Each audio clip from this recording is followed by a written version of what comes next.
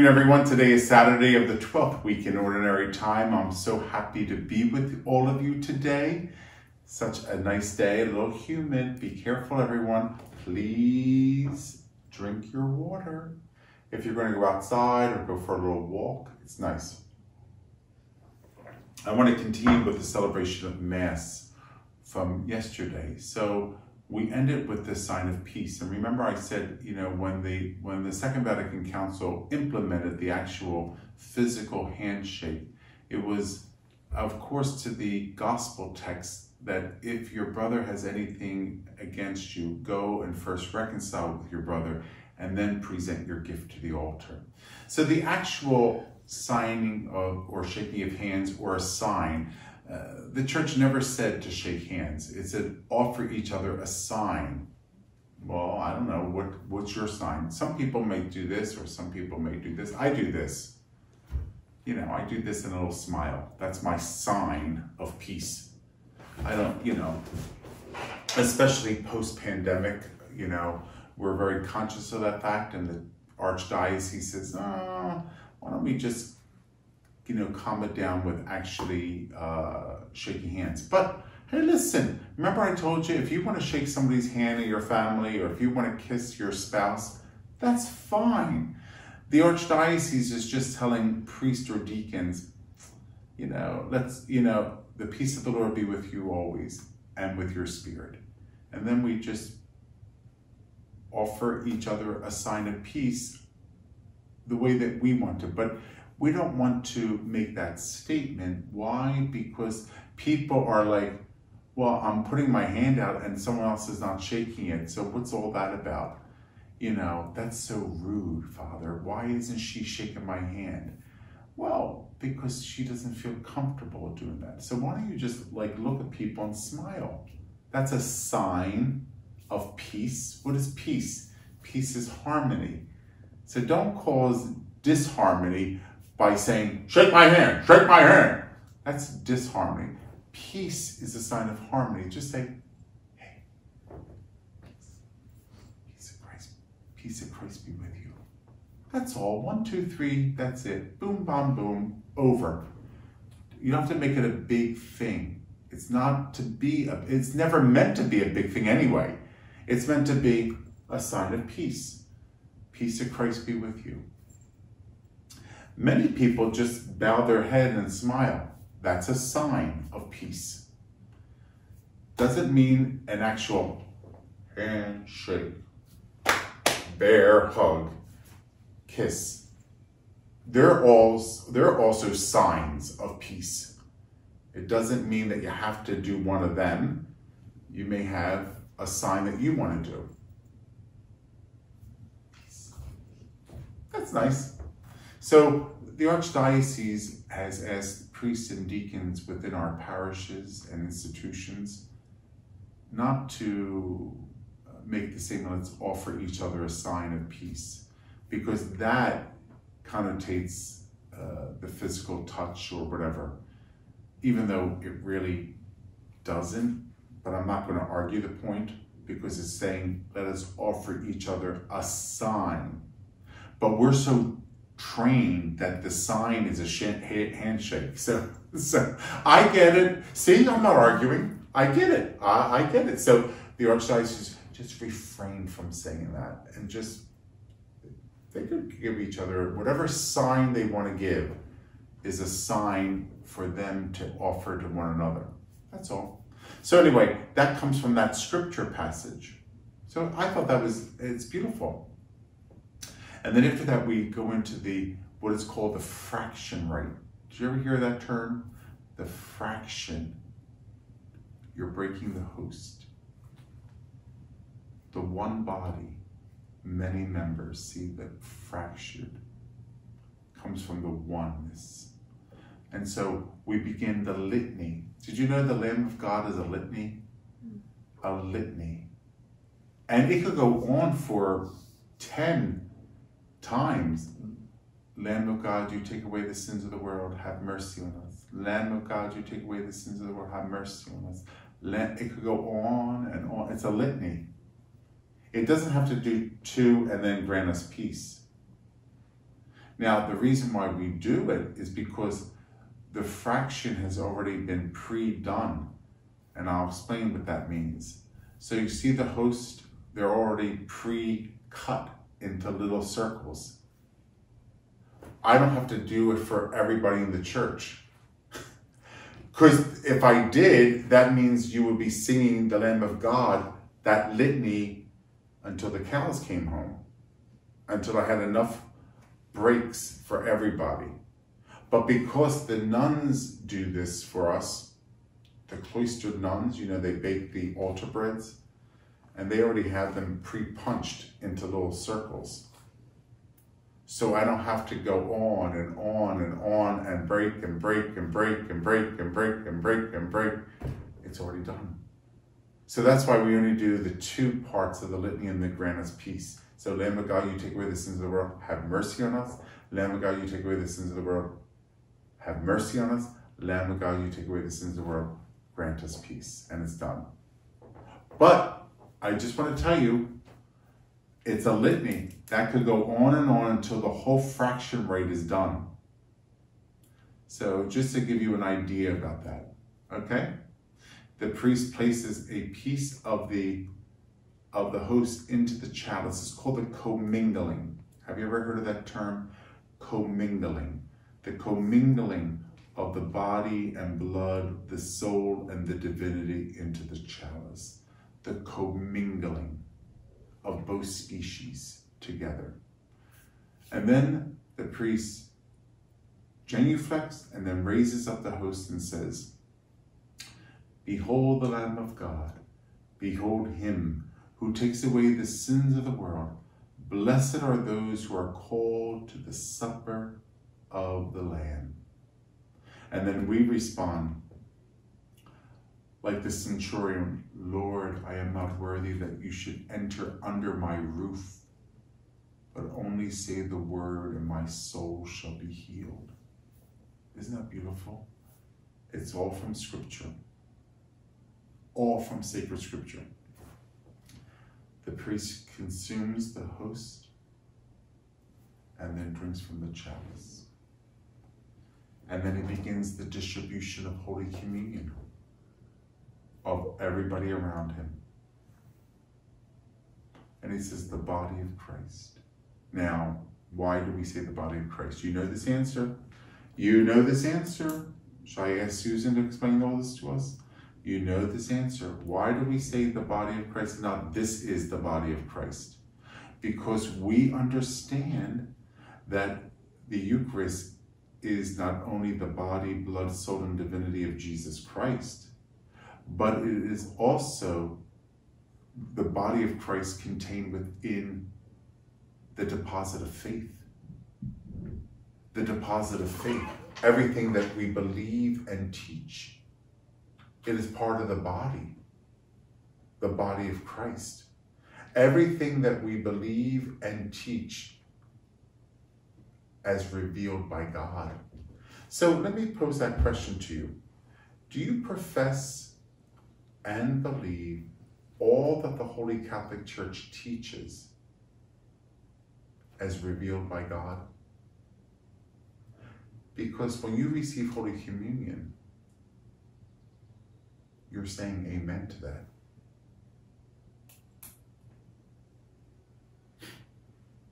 See, it's it's you have to understand the Eucharist in its totality. In its totality, both and, not either or. That it is the body of Christ, the body, blood, soul, and divinity of Christ, but it's also everything that the body of Christ teaches and professes to be believed, calling for faith as revealed by God. So if you are excommunicated, you're exiting yourself from communion, right? The communion of faith. You're exiting yourself from the communion of faith of what we professed and believed as revealed by God. So those who are Lutheran are excommunicated. They're, they are not part of communion because they're not in communion with us. If they were in communion with us, they wouldn't be Lutheran. So, when to all your friends who say, What's the big deal? You answer that question. So, what is the big deal? So, if it's not a big deal, then stop going to a Lutheran ecclesial community and start going to the one Catholic church, the one holy Catholic and Apostolic church. If it's not a big deal. I mean, that's what people say, right? What makes the difference? Uh, what ma- okay, fine. Well, then stop all this division then. Stop it. Then come to the one church that you that you broke away from. I'm just answering the question. So if, if it is no, uh, it's no big deal. Oh, it's they all believe they do we all believe the same? No, we don't. Stop saying that.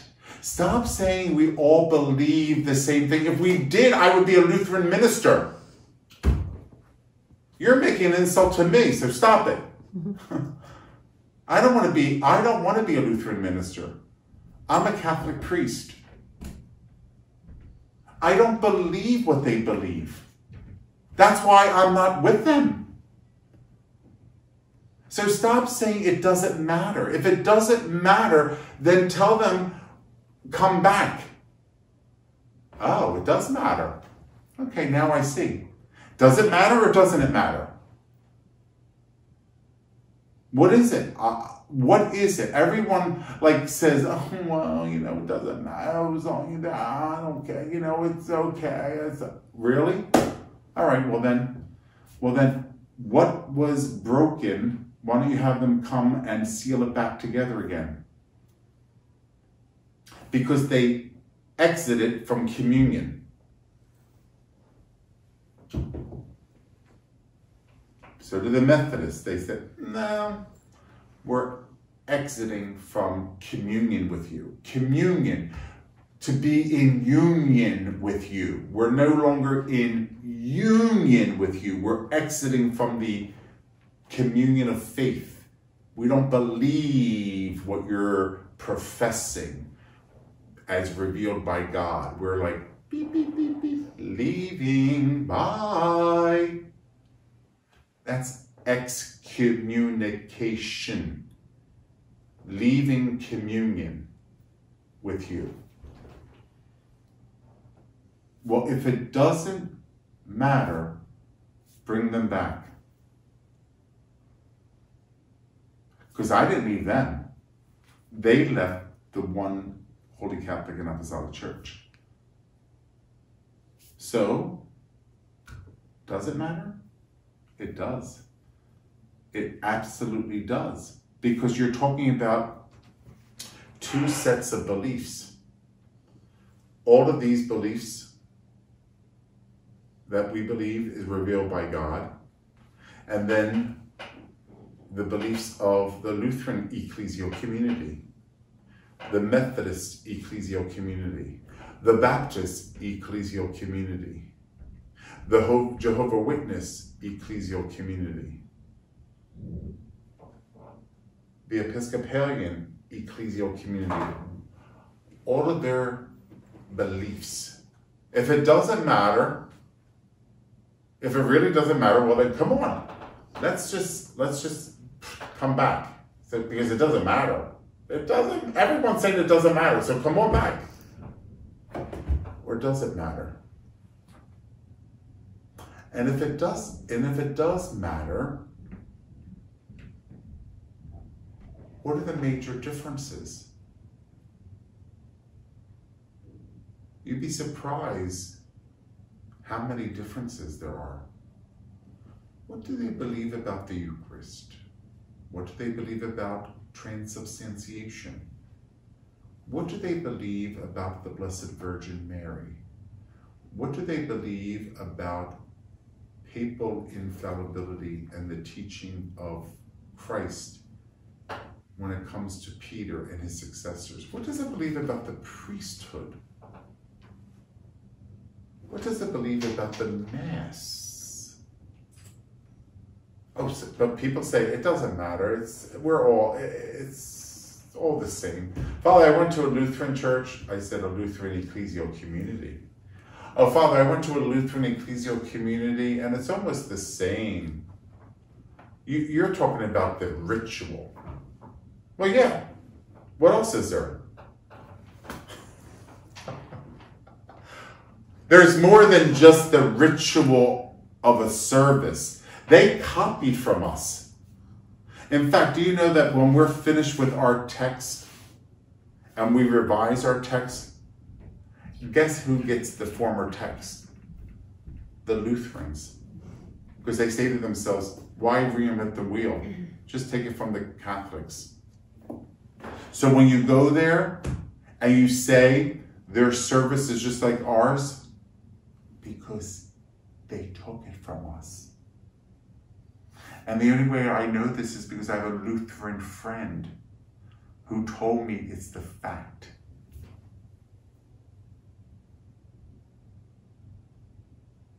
Does it matter? Of course it matters.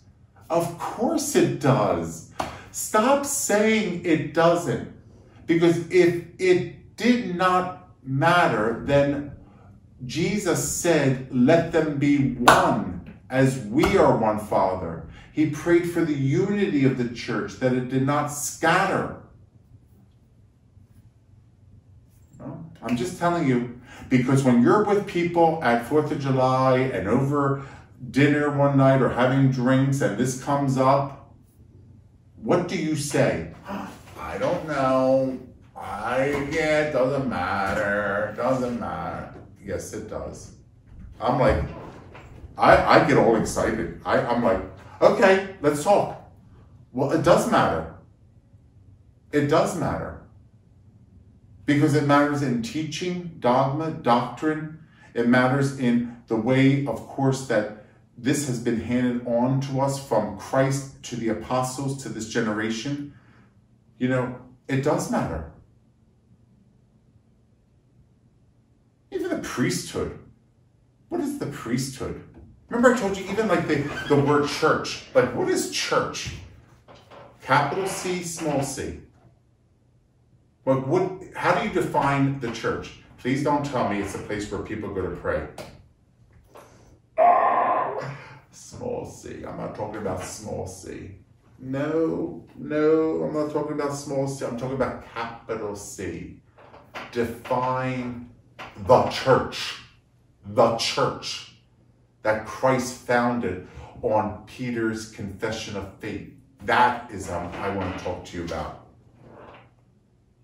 How do we define the church? So,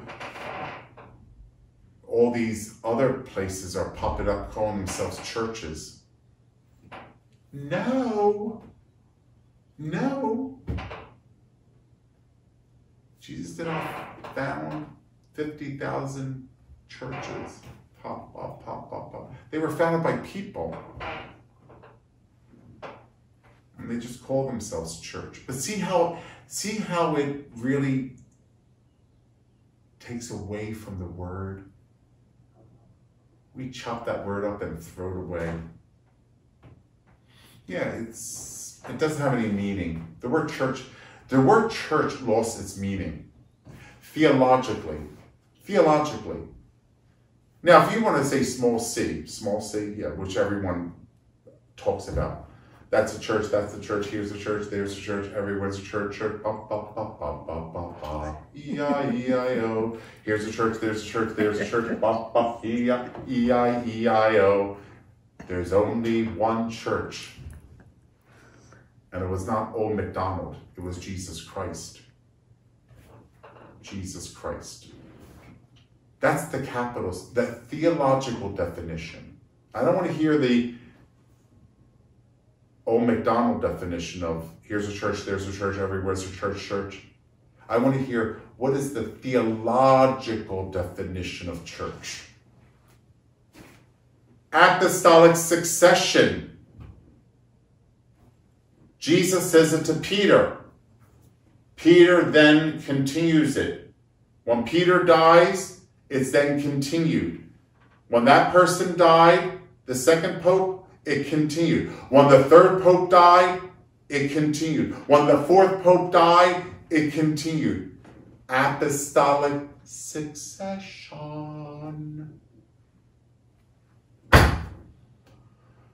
To this 266 Pope Francis.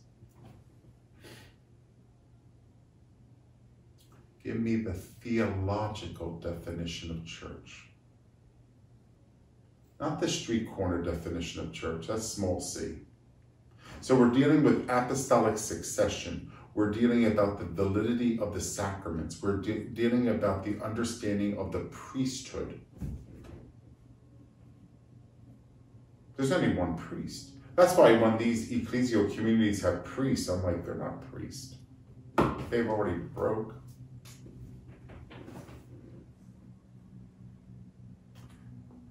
So is everything the same? No, not every. See, that's why you be careful. Don't just give in to like, yeah, it doesn't matter. It doesn't matter. As long as you have to be nice to everybody. Yeah. Well, well, how about you know somebody having four wives? He's nice. Just let him do what he has to do. Oh, is that okay? No, I, I'm saying we could say that about everything. He no bother nobody, Father. He's nice. Good. He's nice, you know why? Because God made him nice. God created the person. Please don't say that either. That's also an insult. It's an insult to people's intelligence. You know, we are we are good because God looked on creation and said it is good. Period. So these are the things you have you have to learn. You have to learn. Because how are you going to take your faith out to the marketplace? In your backyard, at a restaurant, in your living room, when you're when you're talking to your kids, you know, because kids have all the answers. Your kids know everything, don't they? Mm -hmm. They think they know everything, right? So your kids will tell you. when your kids leave the faith, what are you going to tell them then? You know, because they're going to tell you, ah, it doesn't matter. God loves us all. And I always like to say, He does love us all, but He calls us to a deeper realization of what we are to do with our life. Okay, if it.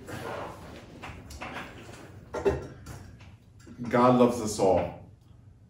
Why did he put his son through this?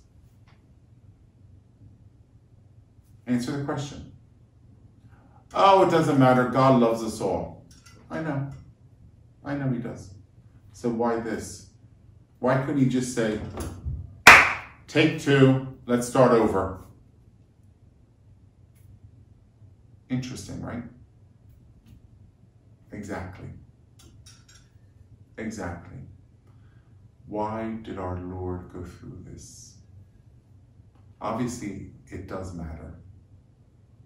Everything matters. We like to justify our behavior by saying, eh, it doesn't matter. It doesn't matter. It does matter. It does. Everything matters. So it's important. It's important to know your Catholic faith. Apologetics. Apologetics is allowing us to articulate our faith in situations that we come across that we need to be a prophetic voice. Remember I told you you're a priest, prophet, and king? So how are you voicing prophetically the faith. the faith that was handed down to you from generation to generation, all the way to the time of Christ and the apostles. How are you articulating that? Or are we weakening it? Is it becoming very soupy? I mean, before it was like very strong and hardy, the faith. Everyone knew. There was not a question. There was not a question. Everyone knew the faith. Everyone knew where the church taught on marriage, where the, where the church taught on human life, where the church taught on the sacraments, what the church taught on priesthood, what the church said about divorce, what the church said about Mary. It was clear. It was hardy. Now it's like seeping through your fingers. It's like, I don't know. It's up to you. What do you think? No. Well, what do you think? It's not up for you to think about this. It's handed on to us. We all have our opinions. But are we going to argue with what has been given to us from Christ and the apostles to this present day? He's given the church to be the mother, to guide it, to hold it together, to answer the questions.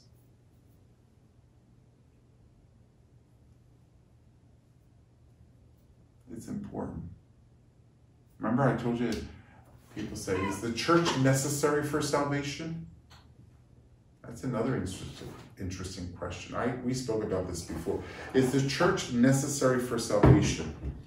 Yes! Of course it is.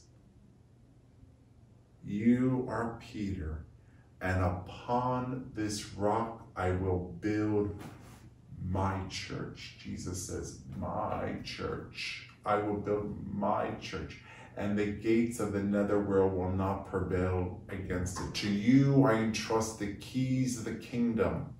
Whatsoever you declare loosed on earth shall be loosed in heaven. Whatsoever you declare bound in on earth shall be bound in heaven. Papal infallibility. Please know your Catholic faith. Back it up through scripture and the constant apostolic tradition of the church, capital T, not small t, we apostle on Sunday, that's a small t. Apostolic tradition in areas of morals and faith, capital T. Coming from the apostles. All right, well, you know me, I get too excited about all these things, and I'm going on and telling you about all these things because I need you to understand excommunication. Excommunicatione. It's the Latin. Excommunicatione. To exit from communion because I no longer believe and profess what the Holy Roman Catholic Church teaches and professes to be revealed by God. I have excommunicated myself. Now, there are formal decrees of that. Don't get me wrong. But we say by the mere fact you did this, you excommunicated yourself. We say ipso facto you did this, you have chosen to exit from communion. How do you get back? Confessional. And do you believe now?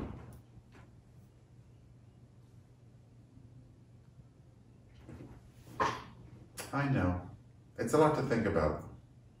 It's a lot to think about and it's a lot to to really understand. I'll continue this tomorrow as we talk about communion and how we receive Holy Communion. Have a nice day, everybody.